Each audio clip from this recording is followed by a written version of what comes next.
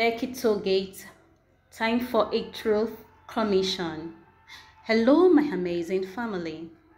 I am a super fan of affirmations They help us build self confidence and push ourselves towards the lofty goals that we envision.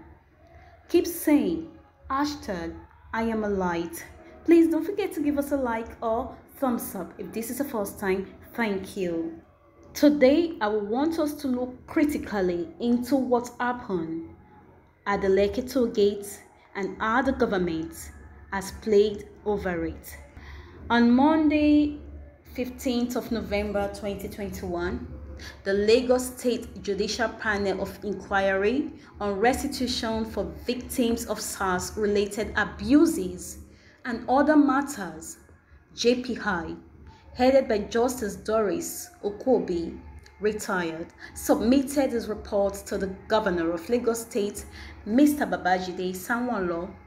While receiving the report, Sanwo-Olu had said that he hoped the report would be the beginning of the difficult process of proper reconciliation and restitution. He promptly set up a committee headed by Moyosore Onigbanjo San, the Lagos State Attorney General, to produce a white paper within two weeks. But rather than the reconciliation the governor had hoped for, the report has divided Nigerians even more sharply than before. The 309-page report claims to have found that officers of the Nigerian Army had stormed the Lekki toll gates on 9th of October 20, 2020, during which they shot dead, injured with bullet wounds, or assaulted a total of 48 hashtag EndSARS protesters in a bid to disperse them. Nine protesters, the report said, were confirmed dead. 20 sustained gunshot injuries, while 13 others were assaulted by the military. The report therefore concluded that the manner of the killings constituted a massacre in context. In a swift reaction, however, the federal government, through the Minister of Information, Alhaji Lai Mohammed, described the report as a triumph of fake news, adding that never in the history of any judicial panel in this country has its report been riddled with so many errors, inconsistencies, and discrepancies. Mohammed raised no less than 10 serious questions of facts and evidence in the reports and concluded that the federal government rejects the notion that our soldiers and policemen massacred innocent Nigerians at Lekki on October 20, 2020. That conclusion is not supported by the weight of available evidence. Indictment for murder is a very serious issue that cannot be done on the basis of allegations and corroborations, as the panel did. Such allegations must be proved beyond a reasonable doubt. The report in circulation is calculated to embarrass the federal government and its agencies without foolproof evidence.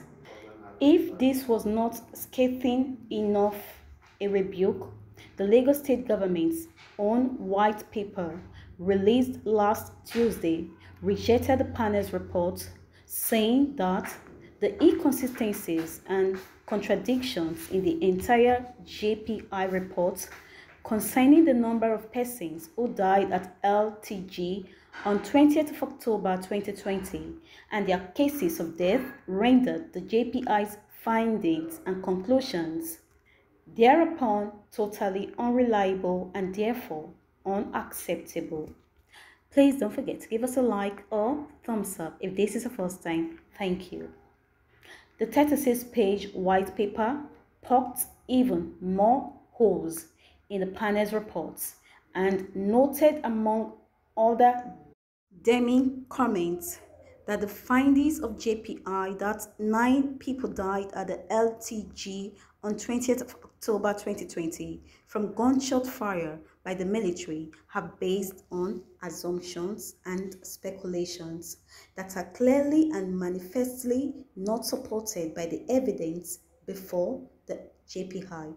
The white paper then concluded that it also shows that the irresistible conclusion to be drawn from the JPI's acceptance of Professor Obafunwa's testimony that only one person died of gunshot wounds at LTG on 21st of October 2020 is that there was no massacre at LTG, contextual or otherwise, given the weight of the easily verifiable inconsistencies and contradictions in the Lekki panel reports and the weight of criticism against state, we stand by our earlier position that all evidence so far points to the conclusion that no massacre took place at the Lekki Gate during the EndSARS protest last year.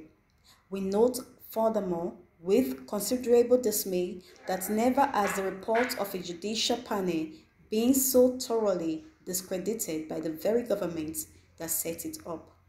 Please don't forget to give us a like or thumbs up if this is the first time. Thank you.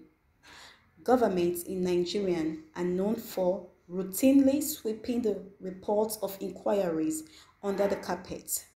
But it is rare for a government to so forcefully discredit and reject with supporting evidence the report of a panel it set up by itself, as the Lagos state government has done. This can only mean that the panelists did a shoddy job, which in turn raises even more serious questions. First, the rejection of the reports as totally unreliable by the Lagos state government cast a serious dent on the integrity of the panel and its members. Justice Doris Okuwobi is a retired judge of the Lagos State High Court and a former Solicitor General and Permanent Secretary in the Lagos State Ministry of Justice. Other members of the panel include Taiwo Lakanu, a retired Deputy Inspector General of Police, Ebun Adegboruwa, a senior advocate of Nigerian, as well as representatives of civil society and youth. How could a panel of such eminent persons in law enforcement produce a report that cannot stand even the barest of scrutiny on so serious a matter as allegations of a massacre? We insist that the panelists must defend their integrity by refuting the claims of the white paper and of the federal government or by providing unassailable evidence of their conclusions. Failure that will forever cast shadows on the professional and personal integrity of the panelists, and not just for their work on this judicial panel, but for the entirety of their professional careers. Second, the white paper raises the question of whether the panel lied to Nigerians or were swayed by the mood of the moment. An indictment of the Nigerian Army and Nigeria Police Force for massacre cannot be taken lightly. We certainly do not take it lightly. It is a serious matter for which Nigerians must know the truth, whatever happened, and just for bringing closure on the matter for today, but for prosperity. Please don't forget to give us a like or thumbs up if this is the first time. Thank you. This is why the federal government must institute a truth commission to get to the bottom of it all. Nigerians and people around the world know who between the Lagos state government and its own judicial panel on hashtag EndSARS is being economical with the truth. This state of confusion must not linger. An independent truth commission would provide the panel an opportunity to prove beyond reasonable doubt that there was a massacre of any kind at the Lekki Tollgate last year. Above all, it will help Nigerians and the world to put this matter to rest once and for all. Please hit on the subscription button for more authentic news and please don't forget to give us a like, share and comment. Thanks for staying with us. Bye-bye.